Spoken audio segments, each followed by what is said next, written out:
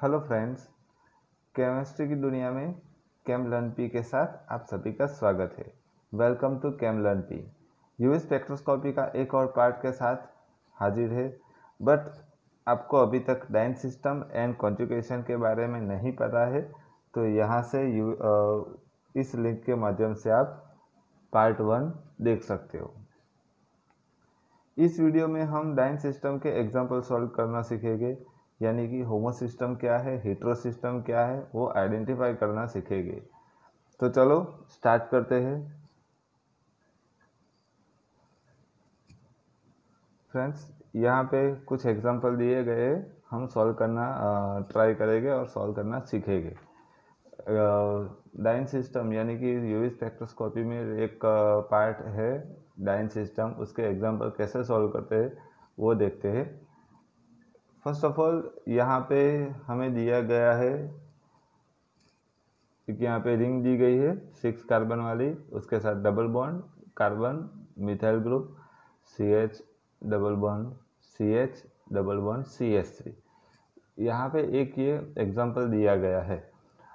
और मैंने last video में ही आपको बताया था कि आ, कोई भी हमारे पास स्ट्रक्चर होता है कोई भी मॉलिक्यूल प्रेजेंट होता है उसमें हमें सबसे पहले तो ये देखना है कि उसमें कॉन्जुकेशन प्रेजेंट है कि नहीं है। कॉन्जुकेशन कैसा है? रिंग में प्रेजेंट है या ओपन चेन में प्रेजेंट है या असाइक्लिक है वो हमें पता करना है।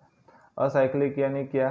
कि हमारे पास सीधी चेन होती है और वहाँ से दूसरे कोई जगह से यानी कि जो सिस्टम होती है उसके अलावा कहीं से एक सब चेन स्टार्ट होती है तो उसे हम कहते हैं असाइक्लिक डाइन ओपन चेन तो यानी कि सीधी चेन ही होती है कार्बन की, उसे हम ओपन चेन कहते हैं। होमो सिस्टम, मैंने आपको बताया था किसे कहते हैं।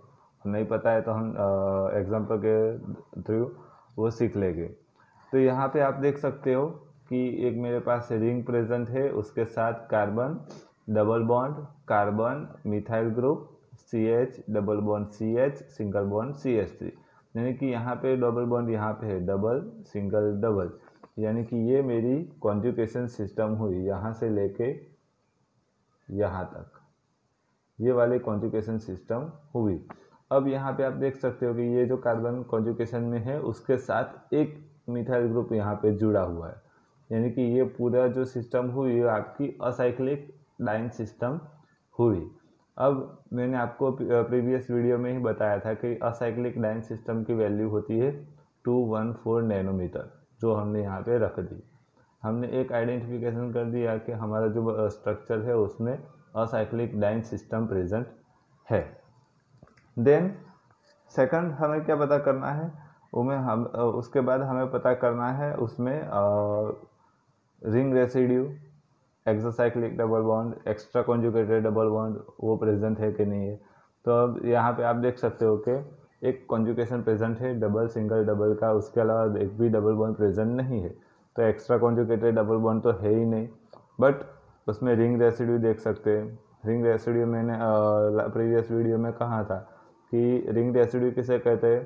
कि कार्बन से जो कॉन्जुकेशन में होता है, उसके जो नेबरिंग जो कार्बन होता है, वो रिंग में पार्ट लेते हैं तो उसे हम रिंग रेसिड्यू कहते हैं। फॉर एग्जांपल, यहाँ पे दिख रहा है कि यहाँ पे एक कार्बन है, कॉन्जुकेशन में प्रेजेंट है। उसका जो नेबरिंग कार्बन है, वो दोनों रिंग में पार्ट ले रहे हैं, यानी कि वो रिंग रेसिड्यू हम कैलकुलेट कर सकते हैं। यानी इसे हम राउंड से दिखाया है। इसलिए इस मॉलिक्यूल में दो रिंग रेसिड्यू प्रेजेंट है। एक रिंग रेसिड्यू की कीमत होती है फाइव नैनोमीटर यानी कि दो की होती है ten nanometre then exocyclic double bond exocyclic double bond यानी कैसे होगा कि आपका जो मॉलिक्यूल होगा, ऐसे रिंग प्रेजेंट होगी और उसमें से बाहर की साइड डबल बॉन्ड निकलते होंगे। वो जो डबल बॉन्ड होंगे वो एक कार्बन यहाँ से जुड़े होंगे और दूसरा ऐसे बाहर निकलते होंगे। और दूसरा कोई कार्बन यहाँ पे होगा। पर यहाँ पे डबल बॉन्ड ऐसे बाहर के साइड निकलते होंगे और वो जो कार डबल बॉन्ड बाहर की साइड निकलते होंगे, वो रिंग के कार्बन के साथ कनेक्ट होंगे। तब वो एक्सोसाइक्लिक डबल बॉन्ड कहेंगे हम। और उसे हम ऐसे क्रॉस से आइडेंटिफाई करते हैं। फॉर एग्ज़ाम्पल यहाँ पे देख लो। कि यहाँ पे रिंग प्रेजेंट है और यहाँ पे डबल बॉन्ड बाहर के साइड निकल रहे हैं। तो इस डबल बॉन्ड को ये कार्बन के साथ जुड़े हुए तो ये double bond exocyclic double bond से हम डिफाइन करेंगे उसे और उसे क्रॉस की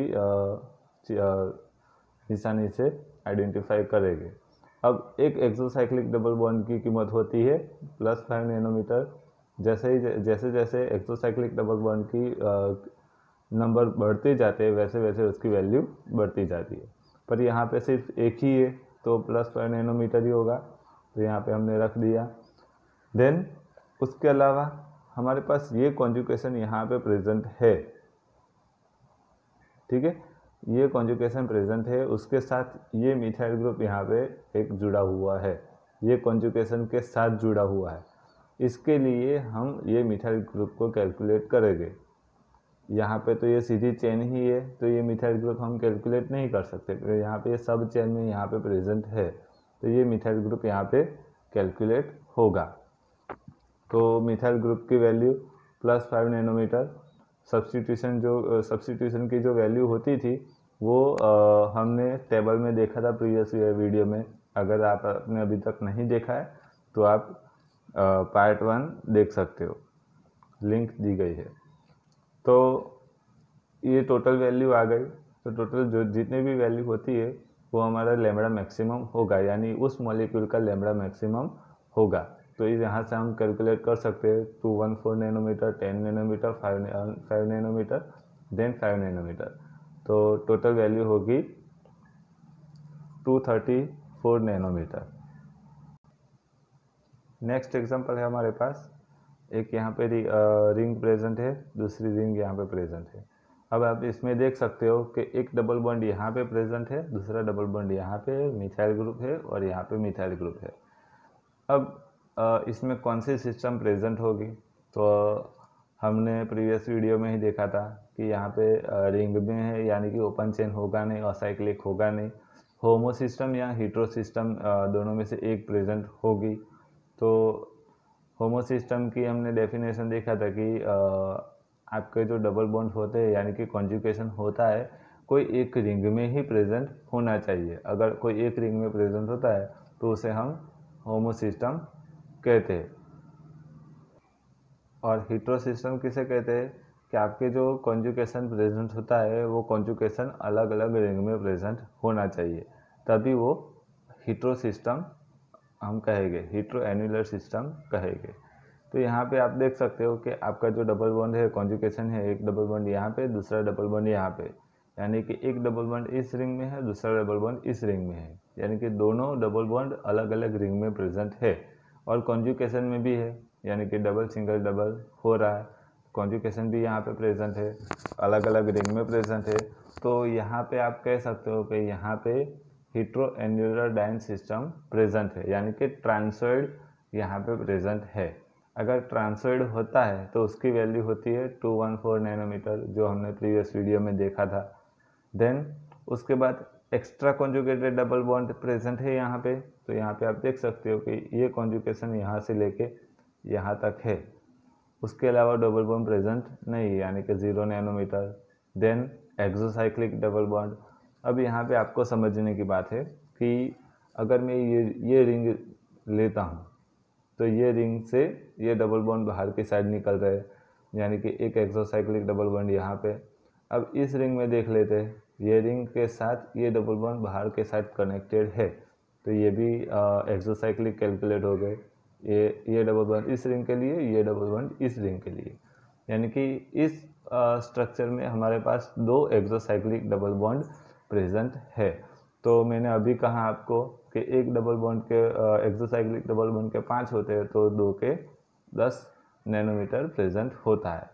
Then ring residue the ring residue जो आपका कॉन्जुकेशन प्रेजेंट होता है, जो नेबरिंग कार्बन जो होता है, वो रिंग रेसिड्यू आपका कैलकुलेट हम कर सकते हैं। यानी कि ये जो कॉन्जुकेशन है, उसका नेबरिंग एक ये ये ये ये। यानी कि हमारे पास टोटल चार रिंग रेसिड्यू प्रेजेंट है।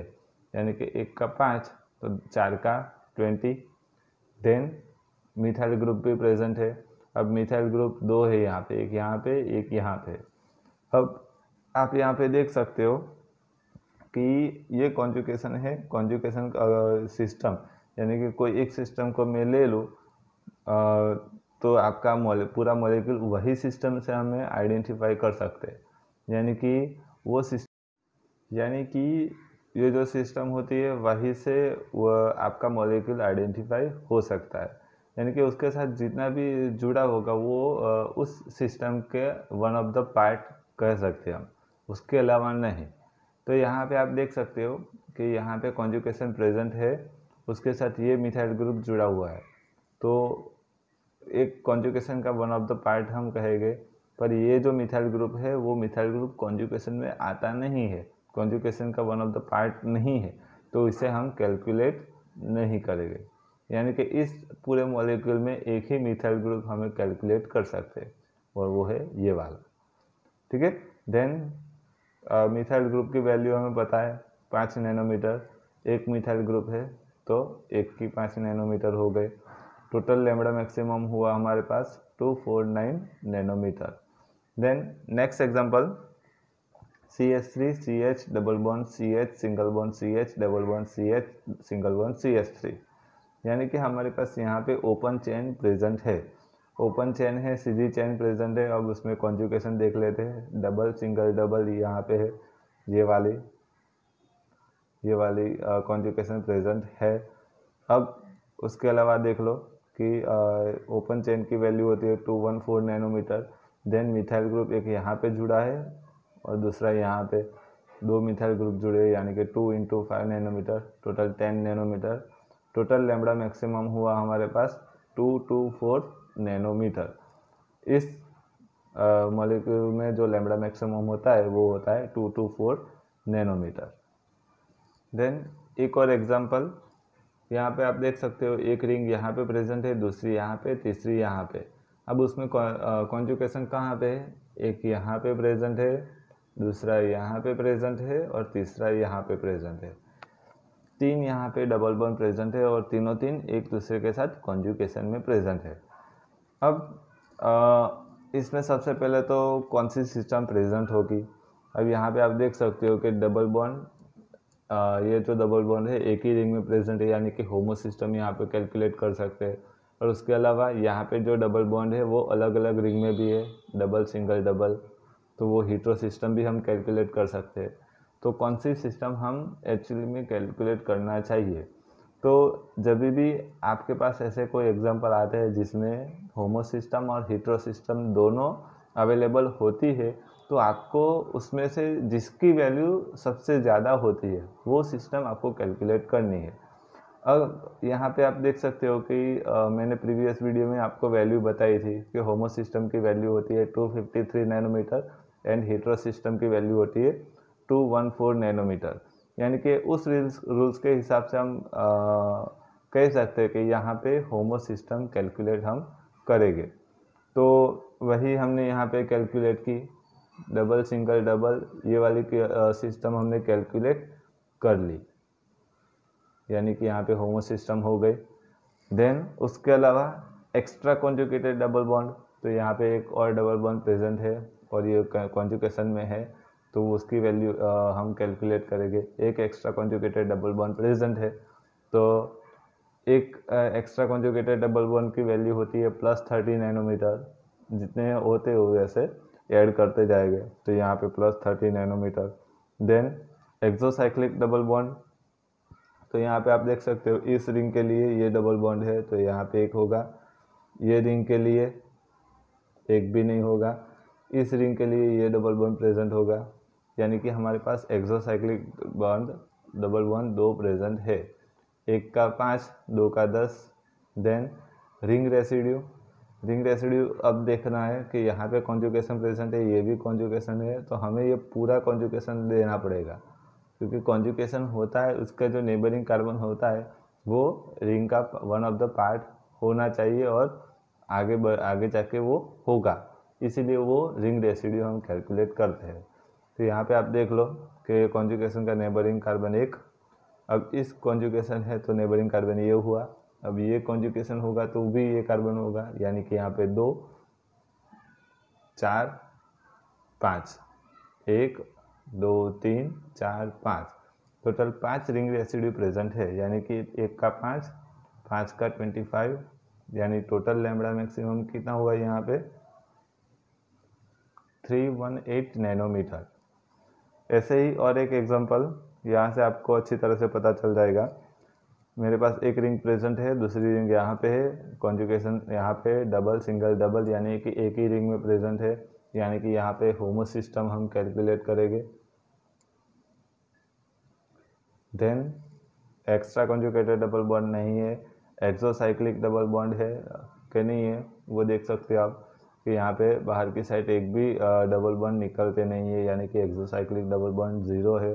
देन रिंग रेसिड्यू तो यहाँ पे कॉन्जुकेशन प्रेजेंट है, उसके अलावा ये एक रिंग रेसिड्यू एक, दो, तीन, चार। चार रिंग रेसिड्यू प्रेजेंट है, यानी कि ट्वेंटी।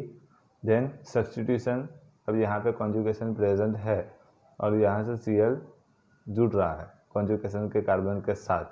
तो ये क्लोरीन हम कैलकुलेट करेंगे। अब क्लोरीन की वैल्यू कितनी होगी? फाइव नैनोमीटर तो वो ऐड हो गई। तो टोटल लैम्बडा मैक्सिमम हमारा हुआ 278 नैनोमीटर आज के वीडियो में बस इतना ही। आई होप आज के वीडियो के ऊपर से आपको डाइन सिस्टम के एग्ज़ाम्पल सॉल्व करना सीख लिया होगा। अगर आपको वीडियो पसंद आया हो तो लाइक शेयर एंड सब्सक्राइब कर दो।